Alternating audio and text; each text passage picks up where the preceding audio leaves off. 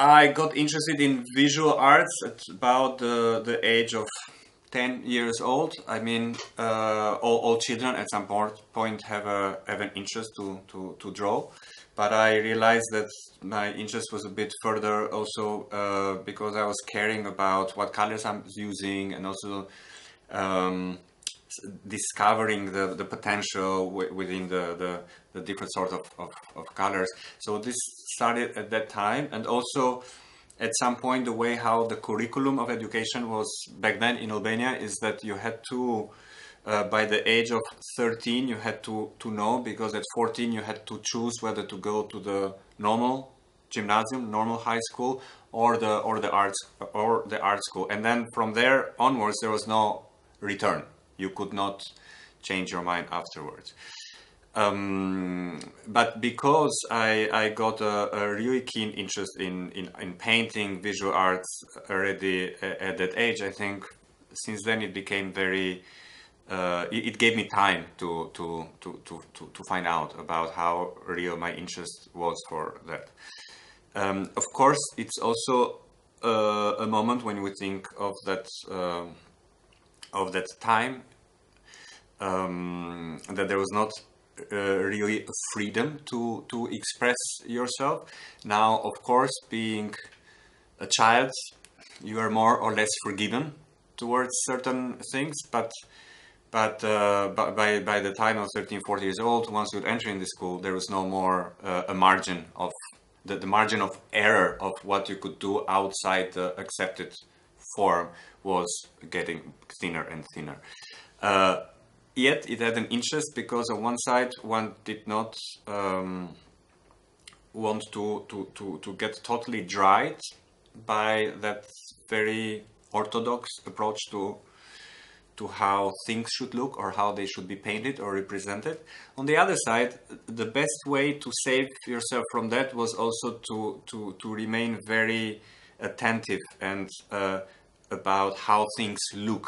Like therefore, be extremely curious, have uh, sort of sharpen your your attention to what you see and how you represent it in a realistic way, of course, because being realistic about it was also a very good defense that you are not straying out of what was accepted, but you are not doing it formally, like according to the forms of social realism, but you are just doing it because this is what you are seeing. And I think this this sort of uh, uh, protection that comes from heightened visual alertness. It's something that maybe has helped me and like I guess also other people from from that time.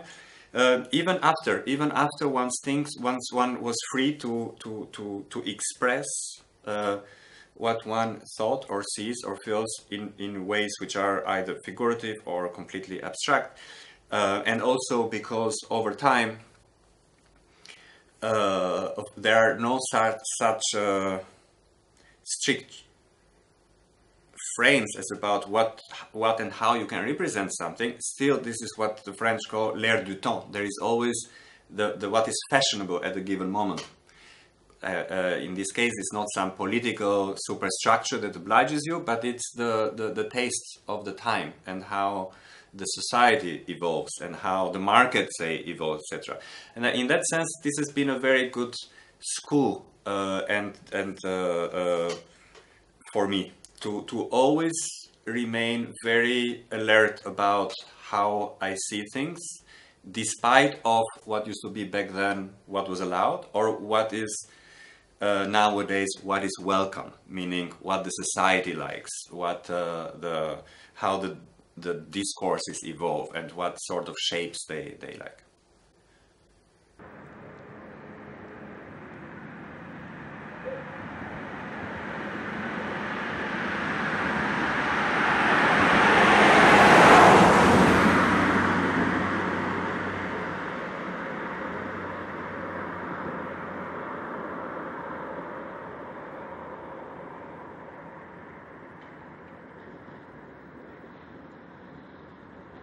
Coming from Albania, uh, and Albania was a very close country, so you totally recognize yourself as being the artist from the country, the only country you knew, which was Albania, as we could not travel before the country opened, and even once the country opened, the, the rest of the world was not open to us to let us go in at, at wish.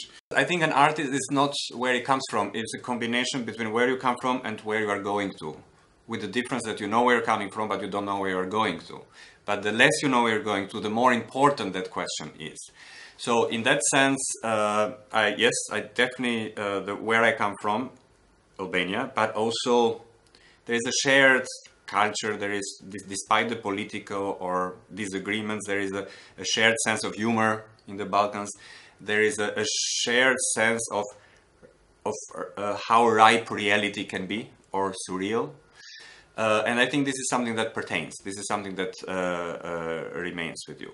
But then one has to also be um, careful, or it's something I, I, I, realized very early on is that when you come from what you call the suburbs, which the Balkans are to, to, to Europe, or the world, the whole world is to the, say, Anglo-Saxon civilization, uh, in the beginning you are very welcome because you come what with what people think is this exotic thing like you are bringing news from from uh, elsewhere and uh, all content that that gives manifests what the elsewhere is is very welcome. But as an artist i was always very jealous about my own freedom that it's not just about bringing news or about content it's about the form you give to that uh, content. So it's it's it's not about where I come from, but it's about what I make of it.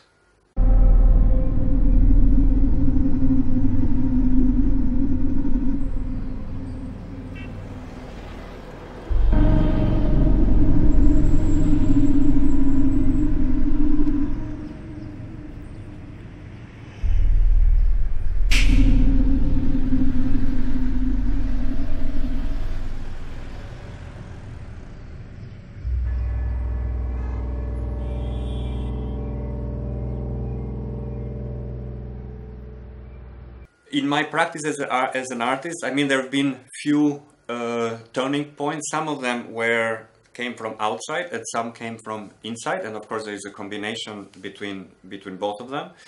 Uh, the first turning point, um, once I decided to study art, was the fall of the communist regime, the the, the rupture that it brought, the the the the, um, the the way it changed um, lo the laws by which the society was abiding, the, abiding, the, the values of the society, uh, the common imagination, the individual freedoms, etc. So that was uh, one uh, big moment. Another one was when I moved uh, to continue my studies in Paris because it produced it. It did make the, the, the frame around me much wider. Uh, which also it had already been preceded by an interest in moving image because this is how I did the diploma for uh, the, the project of the diploma in the Academy of Fine Arts. Um, however, once I arrived in Paris, I really continued my, my studies in on video and therefore the, the, the, there's this big change going from um, from painting and fresco, which was something that I was really keen uh, on while I was still studying in Albania, into into uh, video. And then within the this new medium that allows for a total other way of, of developing your own thought and your approach, there are uh, other sub chapters which within the, my work as in itself are more important. One could feel them more in the work, which was in the very beginning, one of my earlier works uh, is Intervista, uh, which evolves a lot about uh, language, language Albania in this case. It's um, it's a film where I interview my mother, having found a real 60 millimeter film where the sound is voice uh, is lost, but where one can see her uh, present in the Congress of the of the um, of the Congressi Rinis. The equivalent would be like the Congress of the Communist Youth, although that was not exactly the wording of the of the thing. And and also uh, shortly after that, uh, within the same reel of film, uh, it's an interview that she's giving to, a, to the journalist. But the sound was lost, and then the finding of the sound, there's this almost like this archaeological approach, became the trajectory of what was to become the film Intervista, where not only um, I was able to find the content without finding the sound, but also by finding the, the, the words that, that were that were said, that were pronounced in this interview, um, I also realized that it's not only about the content in language, it's also a lot about the syntax. The, the, the, the it sounded unarticulated. So, uh, and this started to make me think a lot about language as something which is not as transparent as it seems, um, but it's it can be rather very opaque. Uh, and but you can only see its opacity the moment that something breaks, and something did break with the Albanian language, like having to move so right on from um, from the uh, communist regime, where as a tool it served the propaganda, it served the way how the regime educated or controlled people, and then all of a sudden through the period of transition, like from one year to another, from one day to, to another. And of course, the syntax could not flawlessly uh, adapt to the to the change. Um, so it both made me very interested in language, but also made me very aware of, of its opacity. And just to finish it more like, like a like a metaphor, in that case, syntax is like the glass of a window. When everything is fine, you see the view, but when something breaks, you see the glass. No. No cuckoo. No cuckoo. No cuckoo.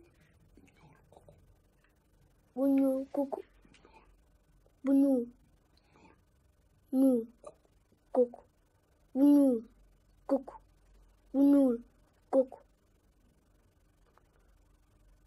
No. Cuckoo.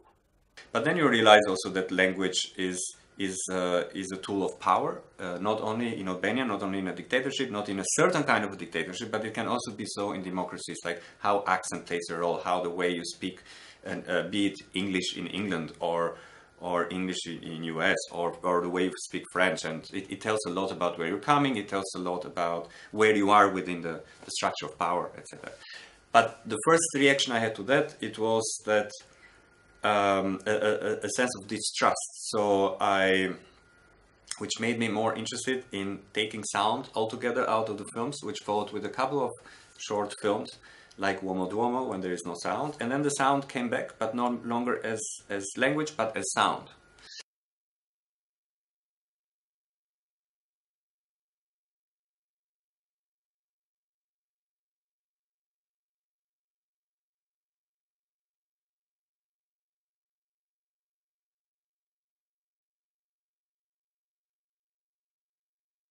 And then another chapter is when sound uh, articulated itself towards music. Uh, and which around 2003, 2004 starts this chapter uh, in my work, so to say, time-based work, where the music is uh, is essential. Uh, not only essential as content again, but it's what allows for structuring the work um, structuring the, the content, structuring how time passes by, because music has a, a very specific way to, to, to structure uh, time. And then, of course, uh, later on, when I was able to do more and more exhibitions, uh, the, the, the, the, making of an exhibition became to me a, a format which is very important because uh, it's not I, from the beginning and increasingly so i never saw the exhibition as an opportunity to show my single works but as a as a as a way where uh, you you stage you put together in the space different works and and uh, uh, a dialogue starts in the spaces in between and how to articulate this the, the in between spaces in the exhibition which are also the spaces that the that the visitors that the viewers are are inhabiting.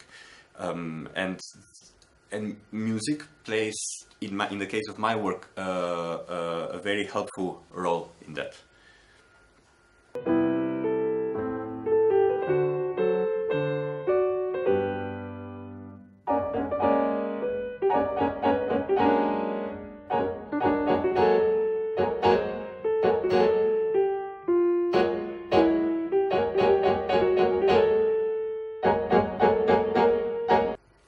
in the beginning, it was properly speaking a relation to time. Like, um, it probably the first time I was very aware of, of, of time and the time it takes was when I was working with fresco.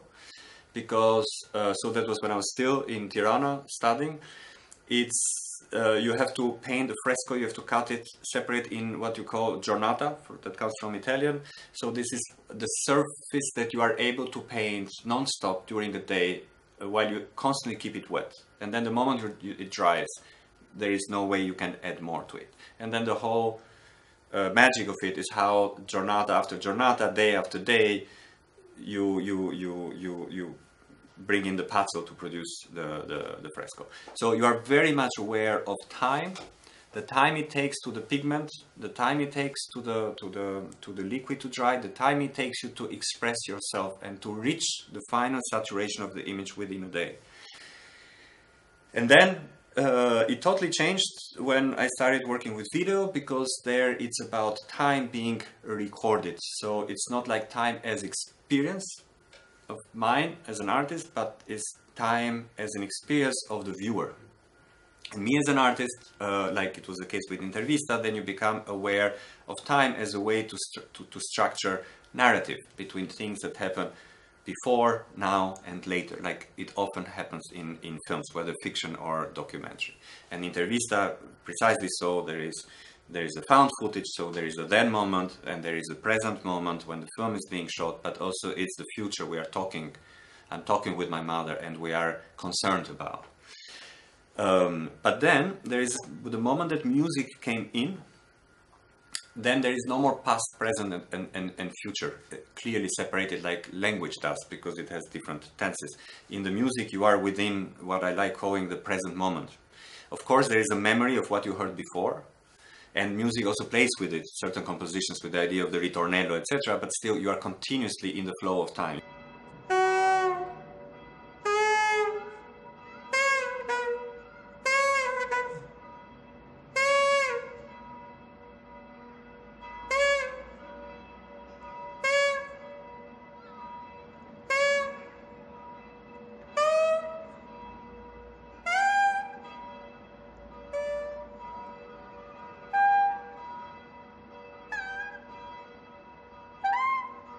Yeah, I think, I mean, first Bruno Pizzul, it was, um, probably it's no longer known to, to the younger people in Italy nowadays, but uh, when I grew up in, in Albania, one could see sometimes up to a certain point, I believe, things which were not necessarily political, like a, uh, like a sport. So, or they would re, retransmit uh, uh, an international football match by taking it from Rai or the, uh, and therefore uh, the, the, the, the sound of I to some extent I grew a little bit with the sound of Bruno Pizzul. In the same way, there's a whole, probably you or a, a, previous generation grew with that sound, and, and of course then then there is this uh, crossing in time between his sound, which is like it it, it brings me so many memories of the past, uh, a memory of a sound which comes from somewhere we didn't know or we couldn't know but it's also telling you for, for about things that you see, which was like a football match.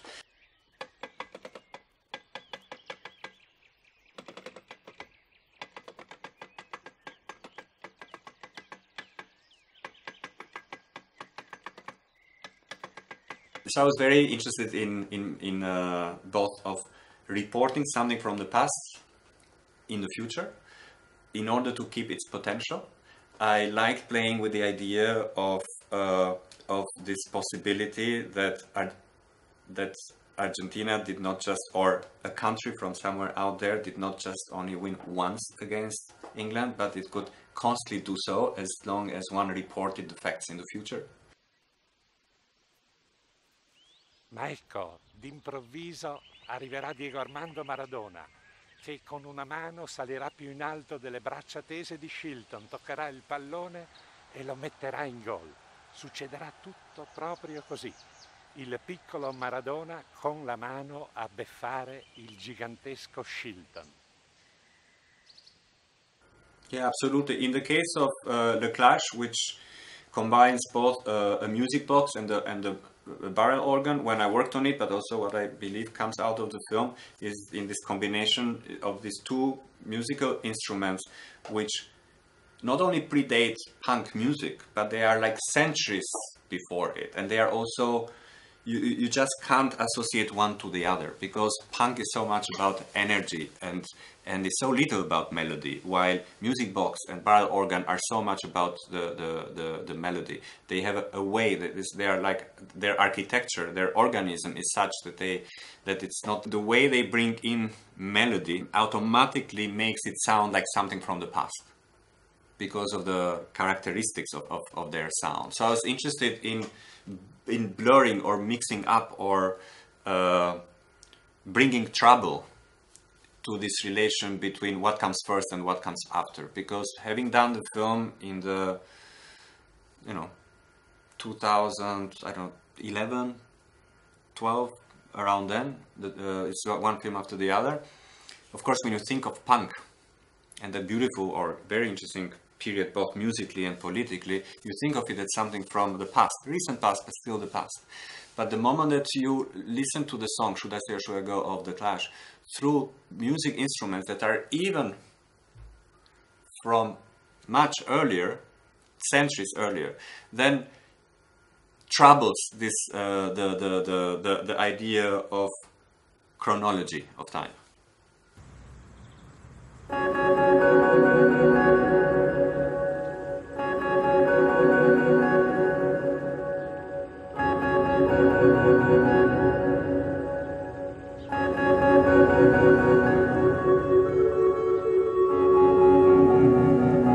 It's also true to say that especially in both cases because it's about turning and the turning gives the, the, the pace gives the rhythm uh, especially in Tlatelolco Clash that I shot in Mexico uh, also the place that I choose it's, it's a place which is very rich in, in its meaning historical meaning because it's the, the square of Tlatelolco where not only it was the, the last place where the, the Aztecs lost against the, the, the Spanish uh, against Cortes, it was also the place where the students were killed um, just before the World Cup by the military and the police.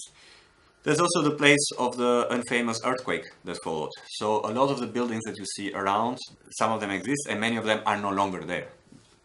Then another aspect which is interesting is uh, that I, I, cut the score for barrel organ of Should I Say Should I Go into many parts and I distributed to the people and I, I gave them an idea of when to come and play it. And the barrel organ became a little bit like a, a voting station where you bring your voice because um, and the voice is like a vote like like in French it's like when you say a voice it's also the vote when you are putting the vote inside. And of course, every person was bringing their own piece of music, depending on their age, depending on how they felt like, depending on their on their dynamics or their attitude, play it faster or slower. So this embeds into the whole uh, continuity of a song uh, so many individualities, which I was uh, interested in. So at the same time, it breaks a lot the song, but also it it it, gives it a very uh, unique continuity.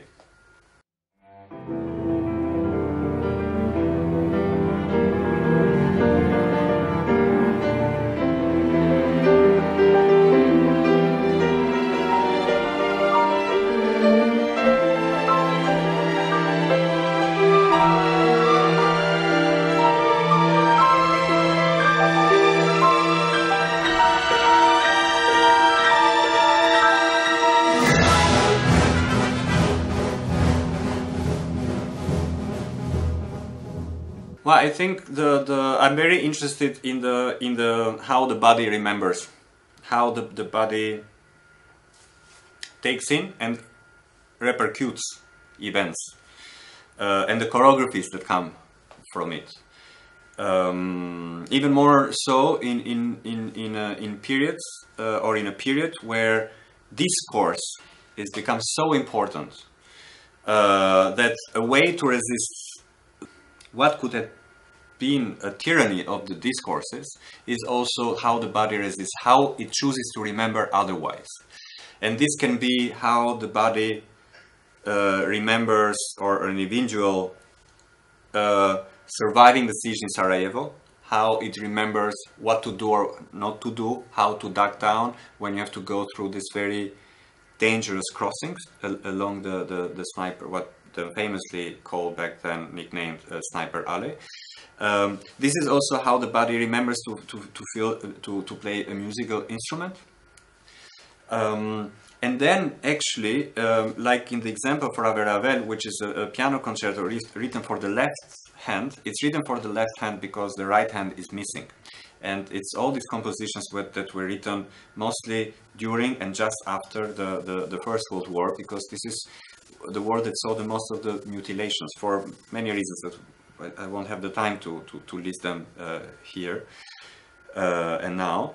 But on another level is how the body plays with the uh, left hand what and how it remembers the right hand playing because the left hand will have to make up for the missing hand so i think there are, there are so many uh, ways that even escape us that there is always a delay between understanding being able to analyze and and objectifying the way how remember things and how we want to talk about it and uh, and uh, intuitively I have the feeling that sometimes the body is a step ahead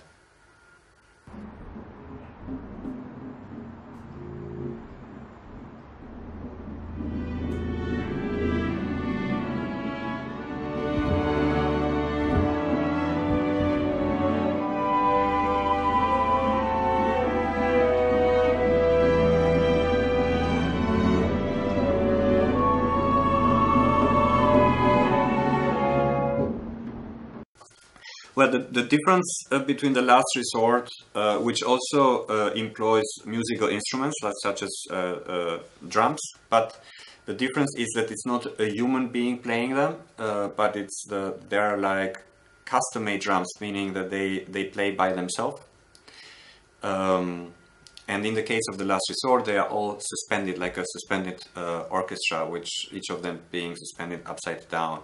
Now, uh, again, it's very musical piece. It's based and um, on on Mozart's clarinet concerto that uh, he composed around 1791 or 92, which also is maybe like a year before the Marseillaise was composed.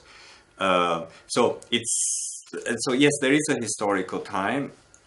Uh, not only because it corresponds to what is the golden age of enlightenment, which meant that in the in the Western civilization, it's about uh, certain notions that did not necessarily exist before or were not as spread before among the average men and women, um, which is a certain sense of uh, acknowledgement of the other, a certain a separation between the secular and the religious, the fact that the artist is is considered like the, the idea of the genius or the idea of the artist being this individual, the fact that the, the human as the individual takes an importance and is uh, uh, outside of the religious and outside of the of the of the hierarchy of the aristocracy. And the, so this is a very important moment but at the same time it's because of this uh, uh, newly found self-esteem in the individual and in all these progressive thoughts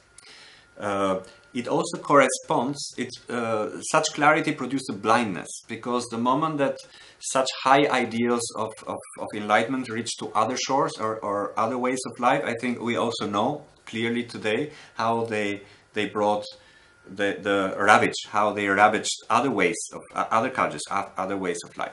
Uh, the first time I showed Last Resort and was also commissioned, or it was commissioned to be shown in, in Sydney. And of course, we know the history of uh, um, the colonization of Australia is also about the time, about the time that Mozart was writing the, the concerto. This is also about the time when the first fleet was arriving in, in Botany Bay. Uh, and the subsequent, uh, we know the, the, the, the rest, what it meant for the Aboriginal people. So I was very interested about, okay, what does it happen to a piece of music if one puts it in a bottle and throws it in the, in the ocean and follows the winds and the currents of the water and will it arrive intact on the other side or what would happen to it? In the same way that that uh, the, the ideals of enlightenment did not necessarily arrive uh, intact, intact in other shores.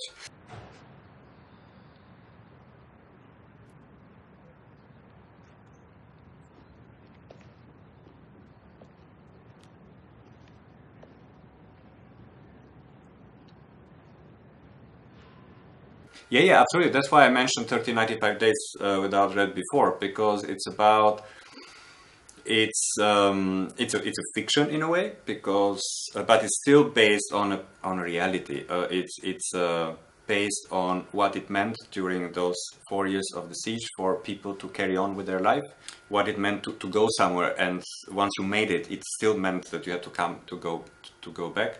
The the way how survival and the and the urban grid of the city they came together. How a city which is thought in a grid beautifully developed among uh, in a valley between the hills and along the river, how all of a sudden its its grid becomes a weapon. Its urban grid becomes a weapon against itself because it produces like this visibility from the from from the hills. The way how it makes vulnerable the, the, the citizens of the city, but also the strength that they, they, they, they found, the strength that goes often unseen.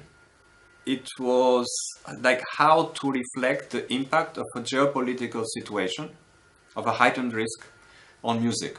The idea went through the breath, how the, the main actress, Maribel Verdú, how she would be going to a rehearsal. Also, this was based on, on, a, on, a, on a, a real story of the, of the Sarajevo Philharmonic Orchestra that continued to rehearse every day and they made, I forgot now the precise number, but they made hundreds of concerts during the siege for the people, which was also a heroic way of, of not giving uh, in, not surrendering uh, in, a, in the most civilized way possible. Um, and and so what it meant that running, catching your breath after every crossing, how it impacted your breathing, and how breathing Im- impacts the way you are you are whistling or you are humming a piece of music. And if this piece of music is Tchaikovsky's Pathetique, what does it do to that piece of music, which has a certain order in the way in its in its tempo?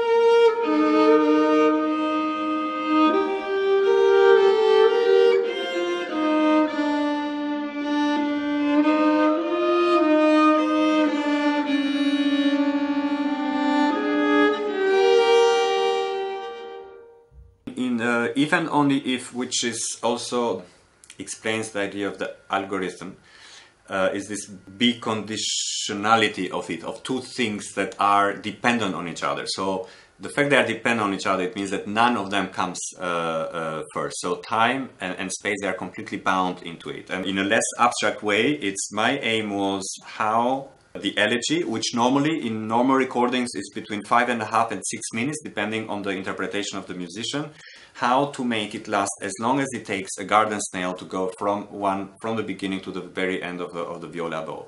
Based on, on tests and also knowing the average speed of, of a snail, I knew that it would take around eight minutes. Then you don't, you can't anticipate everything, but that would be more or less it. So there was an understanding from the very beginning that, that the music would need to be stretched. And then with Gérard Caussé, the, the, the famous uh, viola player, uh, uh, we, we discussed possible ways of where and how the music would be stretched. But then there is this tactility. It's a tactile composition because the snail, by its progress, inputs the way how the musician is going to, to play the music. The, the, the musician, Gérard, he has to to take in account the position of the snail, at some point two snails in the film, to make sure that through his choreography he is turning the bow in such a way that it does not hit the shell of the snail when it goes when it goes over the strings. So all this is like a continuous negotiation, and this sort of uh, heightened alertness, which is part of a continuous negotiation, it's something which I, I, think it's very present in my work, whether it's with Long Sorrow, with the saxophone player was suspended, uh, whether with uh, if and only if, and in a different, in a certain way, also with 1395 days uh, without. Although it was written be before, but it was again how the the grid of the city impacts the uh, impacts the breath, for example, and how the breath impacts the duration of a piece of music. In this case, it would be how the progress of the of the, of the snail uh, impacts the, the execution of the music by the by the uh, viola player. Uh, so in, uh, it's interesting in this conversation because we just went from 1395 bass to if and only if, but in a way it's both uh, in a certain way are like road movies. Uh, uh, um, road movies which are made of encounters.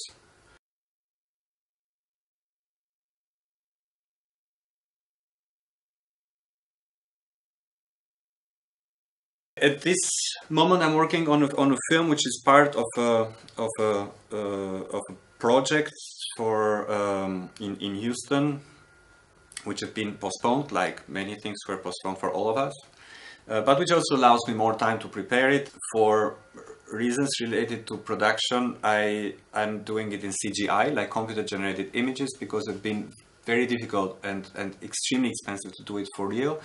It's about a, a turntable, gramophone, we call it in Albania. Uh, a turntable which is playing a piece of music, but it's doing so while it's gravitating, it's spinning in zero gravity inside the uh, International uh, Space uh, Station. And therefore, because of the, the, the, the spinning uh, and the, the, this peculiar gravitating of uh, in weightlessness, it does so that the, that the arm and, and the stylus uh, sometimes makes contact with the vinyl and sometimes loses con contact with it until it makes contact again. And this impacts the piece of music that it's, uh, it's playing. Um, and it's based on a, on a piece of Olivier Messiaen, called Quartet for the End of Times, and uh, the movement within this piece, uh, which is called The Abyss of the Birds, which is for a clarinet solo.